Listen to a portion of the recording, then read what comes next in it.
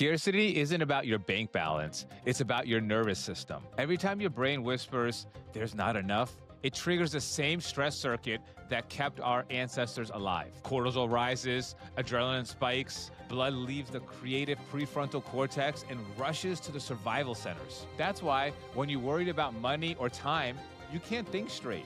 The brain literally shuts down imagination. Harvard researchers found that people under financial stress scored as if they'd lost 13 IQ points. That's not stupidity, that's self protection. So if you feel stuck, it's not that you're doing life wrong, it's that your biology is doing its job too well. But biology is programmable. The instant you create even a micro moment of safety, a slow breath, a grateful thought, blood returns to your frontal lobes. Creativity turns back on. The first step to abundance isn't money, it's regulation.